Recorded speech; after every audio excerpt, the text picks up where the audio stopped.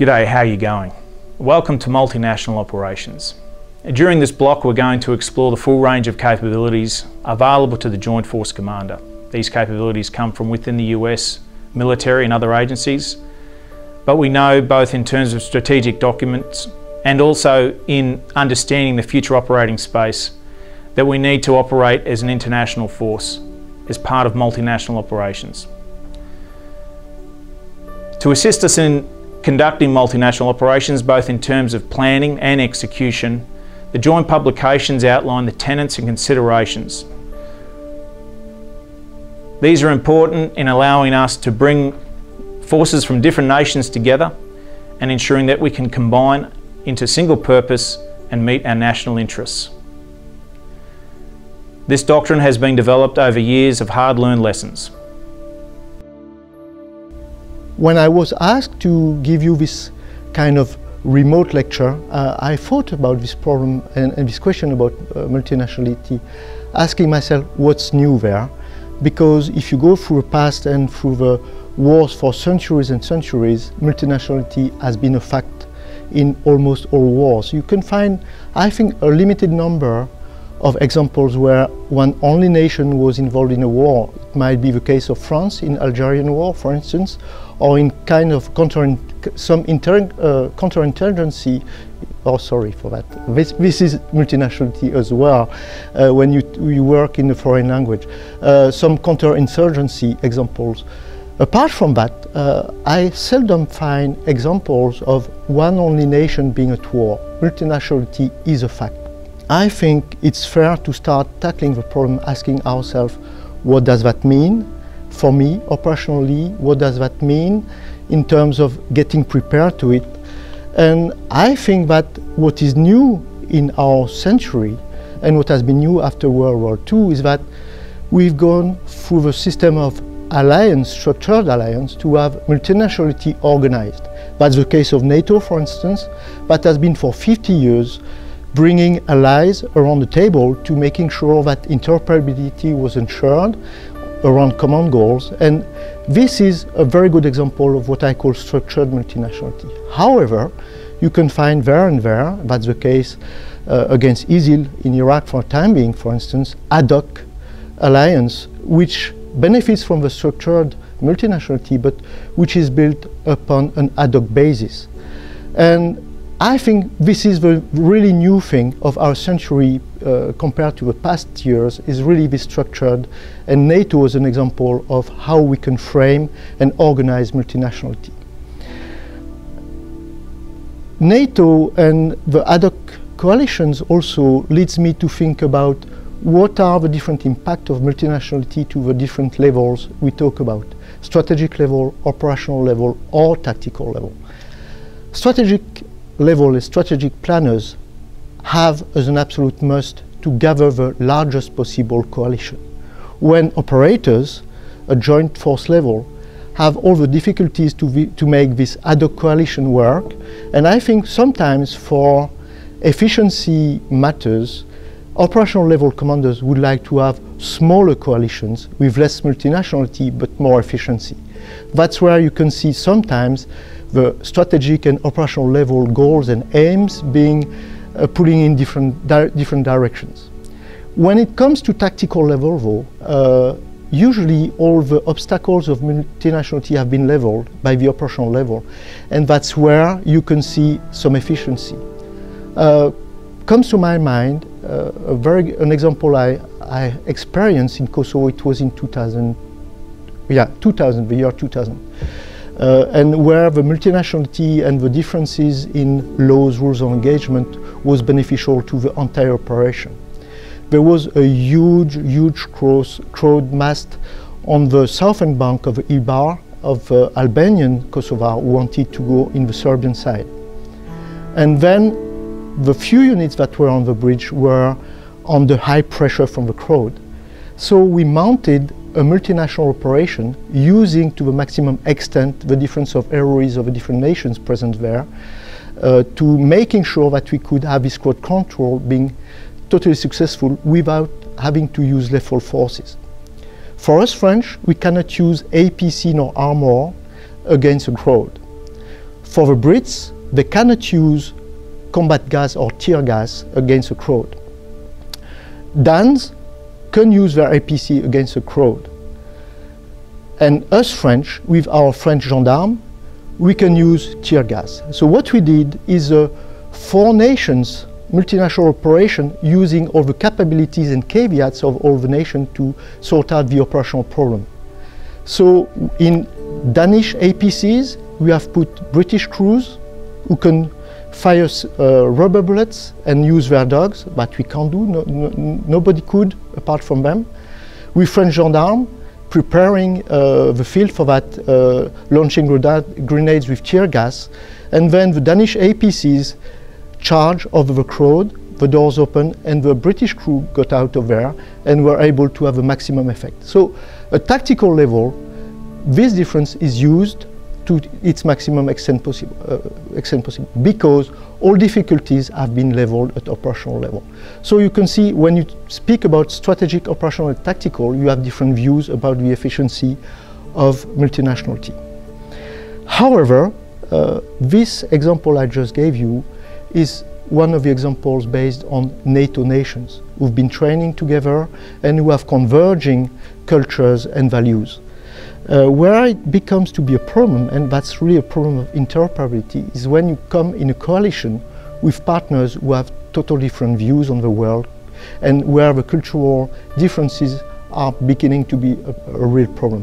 And I think nowadays we see some issues in Iraq, for instance, in the fight against ISIL, about some ethical problems we do have.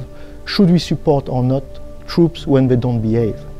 And uh, those are limits of coalition. And when we think about interoperability, we have to think about hardware, of course. Uh, it's important to making sure that the electrons can talk to each other and the, the, the C2 system understand each other. We must be making sure as well that our soldiers or at least commanders can understand each other with a common language. But I think where the huge bridge or huge gap has to be bridged in multinationality is regarding laws, culture and ethical approach to warfare. I'm uh, Lieutenant Colonel Kayanuma from Japan Self-Defense Force and uh, I have I, am an infantry and uh, my uh, experience of the multinational operation was the I participated to the uh, UNDOF which is uh, deployed in the uh, Golan Heights which is between the, Israel, Israel and Syria. So I was in charge of the Japanese contingent commander under the uh, Indian general and uh, I have uh, many good experience there. UNDOF is a very uh, unique mission uh, because uh, it's the second oldest mission in the United Nations and its mandate is this engagement of uh, Israel and Syria. So uh, the one of the uh, very unique characteristic is we have to understand the uh, two countries' culture and some regional issues.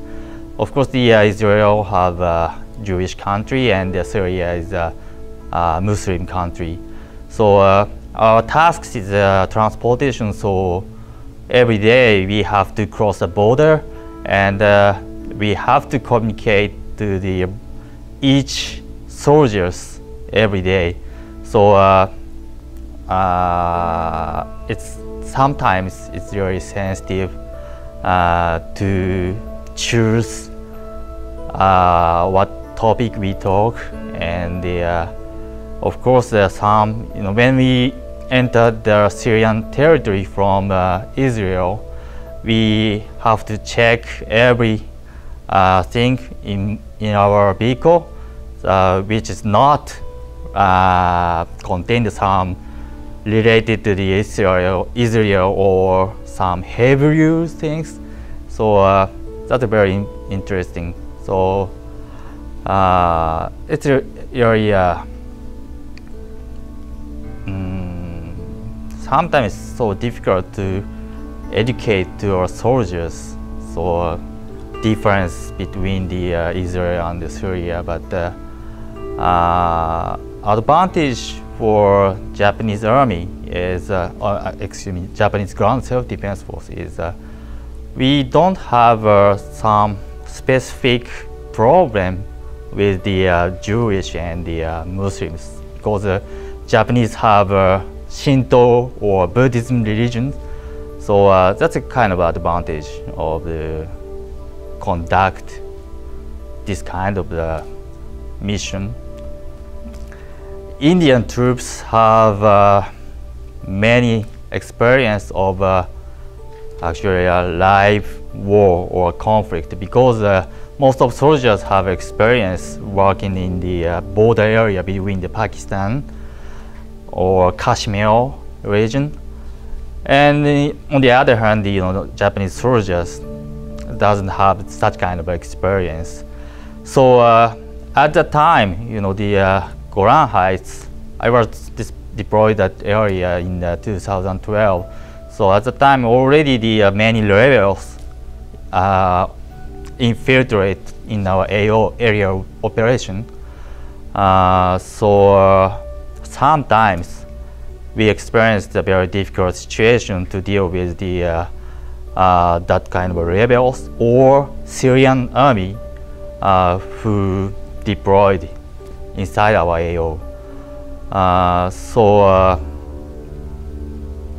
most of in most of the situation, the uh, Indian general, his decision is kind of uh, very aggressive.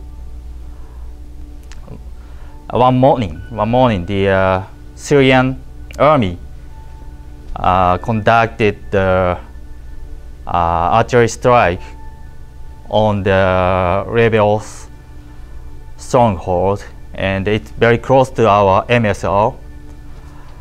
And uh, I got a phone from my uh, force commander.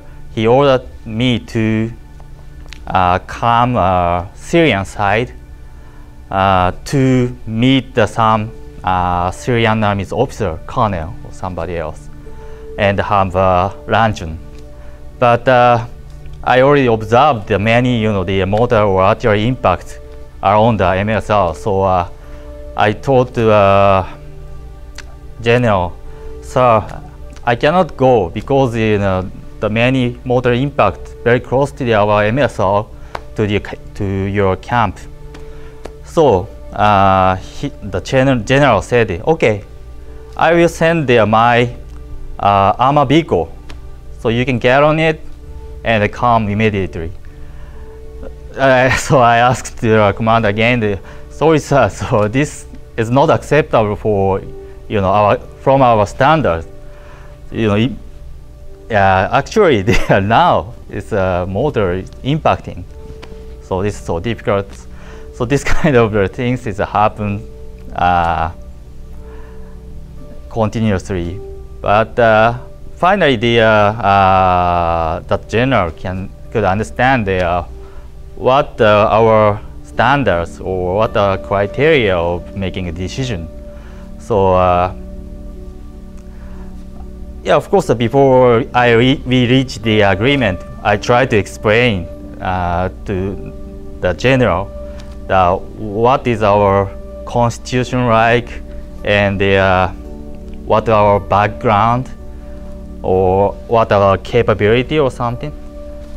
So uh, I thought that this is kind of the uh, you know uh, attempt to explain, explanation is uh, so important to reach an agreement or make us understand the what you know uh, each arm is like. Our constitution is a very unique, so uh, the constitution is uh, constitution prohibit to use our weapon to uh, offensive nature. So only use the defensive nature. And uh, moreover, we cannot use our weapon uh, to protect other countries' soldiers. We can use our weapon only for ourselves. The Australian United States military experience goes back to the First World War. On the Western Front in July 1918, the Australians needed to conduct a preliminary operation prior to the final Amiens offensive into Germany. This included a divisional attack on the town of La Hamel. It's become known as the Battle of Hamel. The 4th Australian Division was somewhat depleted at this point and the commanding general, General Monash, needed reinforcements. He looked to his US counterpart, 15th Brigade, to provide those reinforcements. Through rapport and trust, he was able to bring together the Australian, New Zealand and US reinforcements into a single battle against the town of Hamel. This was highly successful and ensured operations more broadly across the Allied front were able to commence as planned. It also was renowned for its combining of arms of infantry, armour, artillery and aviation. And importantly, it started a long and enduring relationship between the countries of Australia, New Zealand and the United States. Hopefully these insights will assist you in your continued studies of multinational operations.